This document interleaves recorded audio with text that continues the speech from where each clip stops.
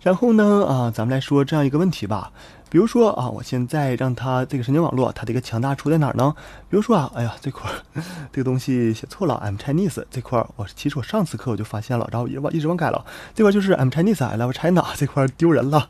然后，然后我要预测的一个值就是，比如说我告诉这个网络啊，I'm Chinese，然后我问他 I love 什么这块呢，它可能就会让你预测一个最后的一个值。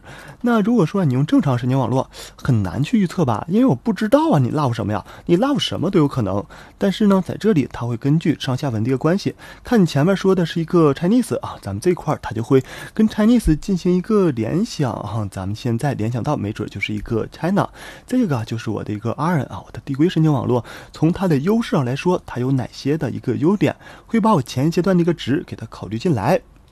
那行，说完优点之后啊，咱们来说一下它的一个缺点吧。缺点是什么？假设说啊，现在我的一句话就不像之前那么短了。我有一个非常非常非常非常非常长的一句话，长多长呢？可能是两百来个字符吧。那这么长的一个句话，然后我要让它预测啊，最终它的一个值是什么？那这个时候有个什么问题啊？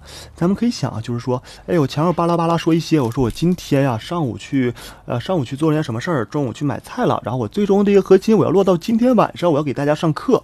那其实呢，我今天晚上给大家上课啊，是不是跟咱们就是跟晚上这些东西相关？我中午做了一些什么事儿，我早上做了一些什么事儿，跟我最终的结果可能不太那么相关吧？但是呢，这个 R N 网络会做一件什么事儿？这个 R N 网络，哎呀，它会把你一开始，比如说一开始的时候，我是说我早上哎呀做了一件什么什么东西。然后呢，这再往后俩是我中午做了件什么东西，他会把你之前这个，比如说啊，一个段落当中所有你的输入都给记录下来啊，他会记住，哎呀，这块前面你做了件什么事儿，中间又做了件什么事儿，那这些事儿好像对我的结果有一定，就是离我的结果比较远，因为差了二百多个字符嘛。那这个时候我可能会认为，哎呀，我最最早的时候，我很很就是很久之前说那些话，对我最终的结果好像没有什么多大影响吧，可以把它忘了就完事儿了。但是，一旦我把这样一句话输进来之后，这个网络会忘吗？啊，普遍情况下它不会忘的，因为在这个中间隐层当中啊，它还是会一步一步的给你保存下来。所以说呢，这个二人网络啊，最大的问题就是，当你这个序列啊特别特别长的时候，它会给你啊，就是从始到终啊，都给你保留一堆一堆信息。这些信息啊，很多都是一些沉余的啊，都是一些没用的。那我们现在要做的一件事儿就是，哎呀，既然这个二人这个网络啊有一些问题。我们能不能给它做一个更新呢？啊，做咱们一个简单，咱们想一想，就是我该怎么样进行一个更新啊？之前的问题是什么？之前的问题记得太多了。记得太多了啊，记性太好了，让他忘一些吧。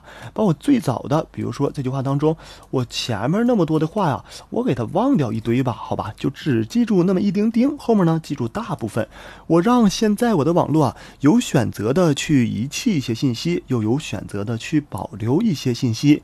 那这个网络就成了什么了呢？啊，由我们的 R N 进化了，进化成什么？进化成一个 S T M 啊，这个网络是我们之后要用的更多的一个网络。LSTM 啊，它的一个全称什么？Long Short 啊，Term Memory，也就是一个长短的一个记忆网络。长短记忆网络什么意思啊？啊，有长有短，可以就是有选择的保留，有选择的忘记。我要做这样一件事情。咱们首先啊，先来看一下我这个 RN 和我 LSTM 啊，从我的一个网络结构上来说呀，它的一个先看一个差异性吧。最明显的一个差异什么？最明显的一个差异，我这个 R N 看起来还蛮简单的，然后这个 L S T M 呢，看起来里边多了一堆一堆的东西吧。其实啊，这个 LSTM 里边多了什么？多了，只多了一个控制参数 C。控制参数 C 什么意思啊？它用来帮助我们去选择什么样的网络啊，不是什么样的，你就是你这个特征提取完了之后啊，什么样的一个特征要保留下来，什么样的特征我要给它忘了。这个就是我的一个 L S T M 啊，我的网络要去做一件什么事儿了。咱们来看一下吧，先把我们的一个整体结构啊，整体结构啊，LCM 稍微复杂一些，我们给它稍微的进行一个分解。进行分解当中啊，我们来看我们最上面这个网络啊，这个图啊是并不是我画的啊，这个图我觉得画的非常好的一个图。最上面有一个图，最上面这个图它干了一件什么事啊？有一条直线，这条直线呢有一个 CT 减一到最终的一个 CT。那这个 c 是什么意思啊？这个 c 是我 LSTM 当中最核心的一个参数，也就是啊，它是一个控制参数，控制什么？整个的网络架构啊，那么那么长，它要控制一下什么样的值该保留下来，什么样的值该给它遗忘掉啊？这就是我的一个控制参数 c，它要做一件什么事儿？然后呢，在我的控制参数 c 当中啊，我们来看这条横线当中啊，这块有了一个乘法，这块又有了一个加法，哎，它是什么意思啊？它的意思啊，就是说我的控制参数 c 啊，不是一成不变的，什么样该保留，什么样该遗弃。这个东西啊，要始终发生一个更新的，每一次我都要进行这样一个更新。乘法和加法就表示着啊，比如说乘法它表示着我们要去忘什么，加法表示着啊，我这个 c 啊，它要该去记什么啊，它可能表达这样的一种参数。那咱们一会儿呢，就来细点点的啊，看一下这个乘法还有这个加法分别做了一件什么事儿。然后呢，我们再来看一个东西啊，这块叫做一个门。什么叫做一个门啊？比如说这个结构。这个结构啊，它就叫做一个门。这个门是什么意思啊？啊，就是右边的这个符号。这个门啊，它的意思就是说，嗯，当前的我的一个特征来了，比如说我一层的一个特征，一层特征来了之后啊，我要经过这个门。这个门它的意思就是说，嗯，让我选择什么东西，又让我遗弃什么东西。在 LSTM 当中啊，这个门啊是让我的一个信息啊通过的一种方法。比如说它是怎么做呢？我可以加一个 sigmod 函数吧，那个 S 型的。比如说它是这个样子的。这个样子当中啊，我看如果说它是趋于一的，那我可能保留；趋于零的，可能就要给它遗忘了。我们的一个门单元啊，就可以帮助我们控制啊，咱们该什么样信息进行一个保留，什么样信息进行一个遗忘。这个函数啊，咱们之前给大家看过吧，在这里啊，就不多说了。零到一之间的一个值啊，零代表不通过，一代表全部通过，中间值呢代表这样的一个比例。那我们首先来看吧，LSTM 当中啊，第一步它做了一件什么事儿啊？第一步，他要做的一件事就是。哎呀，我们之前记住了那么多的信息，我要有选择的去忘记一些了。怎么去忘记呢？我来看啊，xt 是当前的数据，ht 点一是前一阶段所有的一个隐藏信息。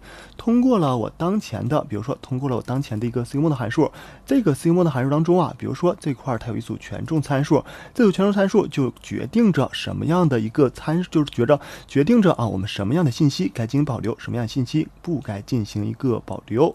然后呢，我算出了一个 f t 的值之后啊，我的一个 f t 值跟什么？跟我的一个控制参数吧。我的一个控制参数跟我的一个 f t 给它乘在一起，相当于什么？相当于是按照你上一阶段，上一阶段啊，它会历史残留着一个，就是一个，就是就是一个 c 值这样一个控制参数吧。那在我当前这个阶段，首先呢，我跟之前的一个控制参数进行了一个啊，进行了一个组合，组合完之后啊，我算出来了，我当前该丢弃一个什么样的信息值啊？这个就是我左边啊这样一个门单元做了一件什么事儿，它要帮助我啊去丢弃一些信息。然后呢，我们接下来要看的啊，接下来我要看的就是我们该怎么样去更新我的一个信息，这是它是怎么做的？这一块呢，我们不光啊要进行一个信息的保留，我们还要去做的一件事啊，就是要更新我们的一个 c 的一个参数。我们刚才说什么？这个 c 它现在是一个 ct 减一吧？那其实呢，我们想，当前是一个 ct 点一，ct 点一啊，它只是包含了就是跟前面所有的数据，还没包含，还没包括我当下这个数据吧？所以说啊，为了使得我下一阶段来了之后，我知道，哎呀，就是。当我多加了一个数据之后，我要把我的一个控制参数 c 啊，给它进行一个更新，给它进行一个更新，怎么办呢？咱们来看啊，这块我不光啊，它是有就是 it 这块是保留下来一个信息，其实呢，说白了什么？说白了就是我加上一组权重参数，一组权重参数去控制我什么样的信息该保留，再加上一组权重参数去控制我什么样的信息该给它进行一个参进行一个参数的更新。那这个 c 我刚才看到大家问 c 是初始值怎么来的？c 的一个初始值啊，可能就是一些呃，不是我不知道它的符号当中啊，它是按照什么样的一个初始化？可能是一个高斯初始化，或者是一些。什么值呢？反正也许就是一个随机的值就可以了。反正它就一般情况下都是随机的，找出来这样一个值就可以了。然后呢，在这里啊，这就是我的一个 IT，我要进行一个保留啊，相当于是十万信息要给留到最后。十万信息啊，还有咱们的一个 CT 值该怎么样进行一个更新的？那最终啊，我的一个 CT 值，我们来看 CT 值怎么样进行更新呀？我的 CT 不光是由我保留信息啊来进行更新，还要由我遗忘信息来进行更新。因为当前我的 CT 啊，我要给它改变一下啊，我要它的一个策略就是信息啊，可能是哪些保留，哪些该留弃，它的一个权重可能是不一样的。在这里呢，我们要加上啊，我的一个 CT 减一当中，我们来看 CT 减一啊，就是前一阶段啊，我该遗忘哪些东西，FT 乘上它，IT 呢，就是说对当前这个阶段，我该怎么样进行我的一个更新？新更新啊，其实这个更新是非常主要的，因为在我的一个整体的网络架构当中啊，如果说 CT 只是保持不变的，那这个东西相当于一个 drop out 了嘛，那就相当于没有什么太大用了。我这个 CT 啊，要随着我的一个数据啊来，然后不断的进行一个更新的。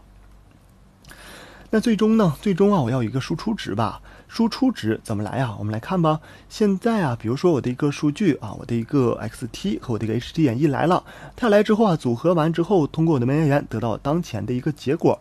当前的一个结果，它是最终结果吗？还不是的。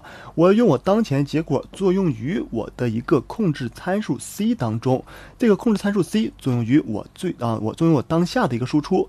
ct 控作用于我当下输出意味着什么？意味着啊，有选择的去保留了哪些有价值的信息。这样呢，我就可以利用啊咱们的一个控制参数，产生出来我新的啊一个，就是产生出来我新的一个输出啊，它是等于什么了？那这个就是我的一个 LSTM 啊，整体网络架构做了一件什么事儿？